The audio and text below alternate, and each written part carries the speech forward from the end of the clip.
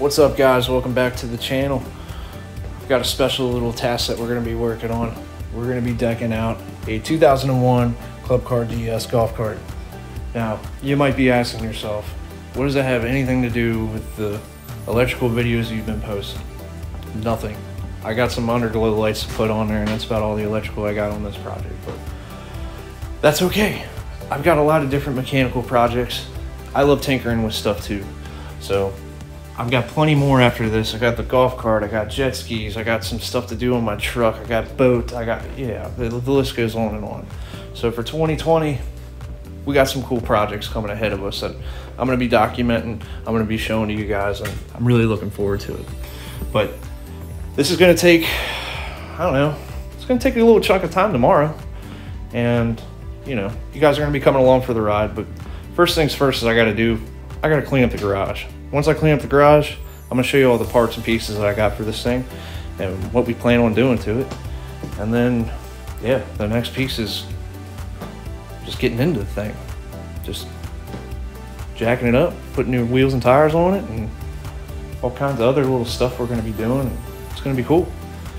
And then we're gonna keep it moving. So stay tuned.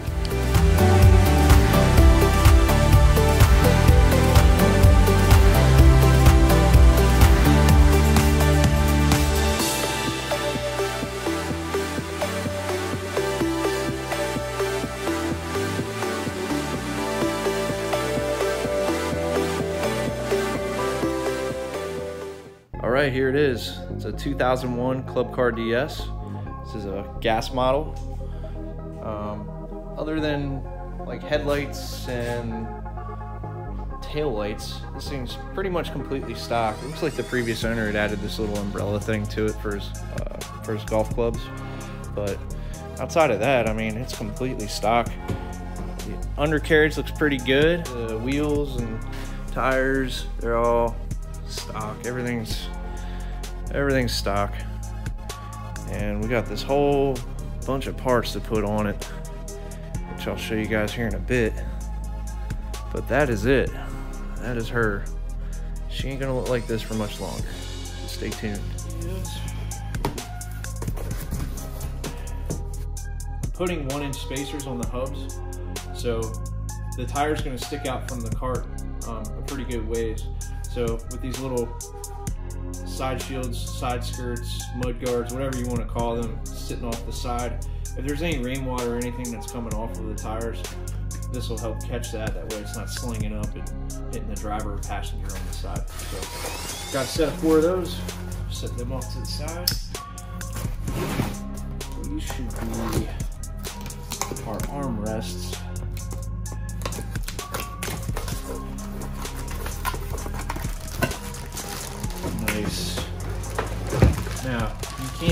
Have a rear seat on the golf cart without having some legit armrest. So I'm gonna put your beer, so when you're sitting out back, on the back of the cart, these guys are not resting their arm on a piece of steel pole. All right, moving on. I think these are my wheel spacers. Yep, these are the one inch wheel spacers. So these will mount on the hubs and basically extend out, uh, give a little bit more width to the tire. I was gonna go with two inch, um, but we'll see how the one inch looks. Um, these aren't too terribly expensive, so if I ended up changing my mind and want to go to the two inch, they're pretty easy. You just pull the tire off. Um, these lock down to the original, uh, to the original lugs, and you can pull them right off. So got two sets of those, one for the front, one for the rear these these are the hub kits. So comes new new hub new bearings. Um, we're gonna have to pack these bearings with grease. Um, new bearing buddy or hub cap bearing cap and the race for the bearings. These should be the front shocks for the cart so that's it. Again these are pretty cheap so I just went ahead and got them replaced. So when you purchase when you purchase the rear seat utility bed, um, you'll actually see that they really highly suggest that you get new leaf springs for the rear suspension. And I'll show you guys in a later video that these leaf springs, well, the stock leaf springs that are on there is literally only one plate of steel. And I think they're actually thinner than this too. I could be wrong. But these are really beefed up. And if you read any of the reviews and stuff, they, they highly suggest that you beef up this the rear. Um, that way when you load it down with, you know, two full grown adults, 150 to 200 pounds, you know, you're putting, you know, three to 400 pounds of weight in the back. Or if you're hauling something heavy, you know, you want to beef up the suspension a little bit. Um, so I went ahead and made the purchase. LED lights have come a very long way. I remember when rope lights first came out and there were still the incandescent bulbs in the rope lights and we started putting them up around our deck, around our outdoor bars and stuff like that.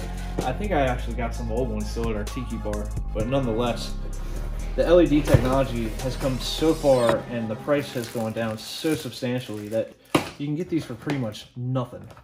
So I got the kit um, that basically they stick right underneath of the cart and it's just, you know, multicolored color changing LED light kits that'll go up underneath. So when this thing it's got a foot or 14 inches of clearance up underneath the cart, it'll shine down. So when we're, you know, going around the neighborhood and stuff and can have a little bit of underglow effect on the cart. I think it's gonna look really cool.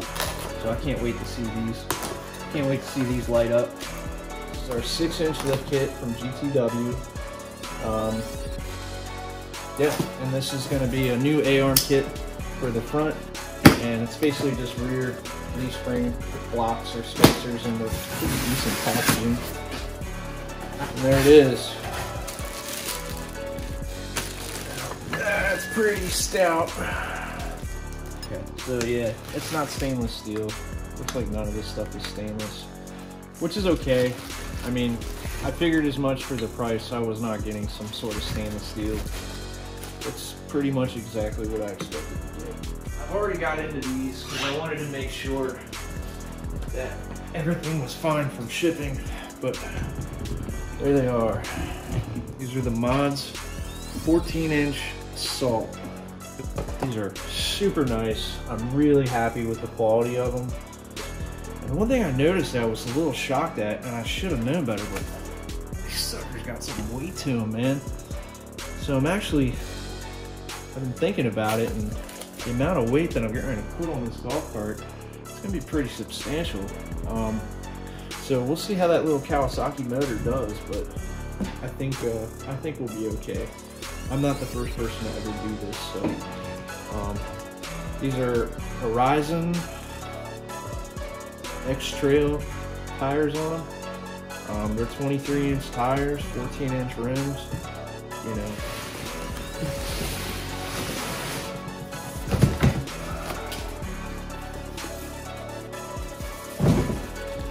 I ordered them and this is white.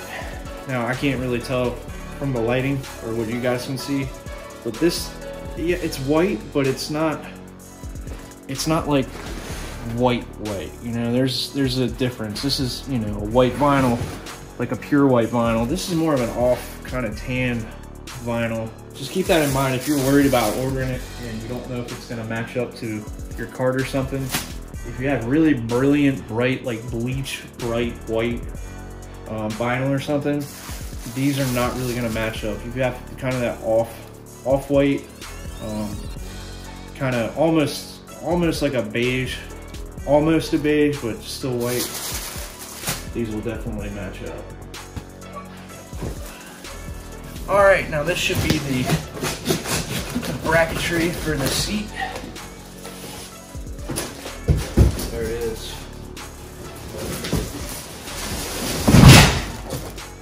Yeah, don't worry about that. um, so yeah, here's the actual bed and instructions to go with it. So it's got a nice pattern, a little diamond pattern to it. It's got a little bit, a little bit of texture to it. Plus all the, the bracketry that goes with it. So yeah, no, it looks good. Pretty straightforward. And this will be one of the last things that we're gonna do. I'm actually gonna start on the lift kit just to get the thing set up and then we'll move on to this. put this on because I do. I have to take the whole roof off, um, as well as the basket and the little umbrella that's on there. I got to take all that stuff off. So that is it. That is all the items that we're going to be installing on the cart. All right, guys. Well, that's a wrap. Um, I did want to say that with all this stuff combined, I think I spent a total of about 1200 bucks. And there was things in there that I probably didn't need to buy.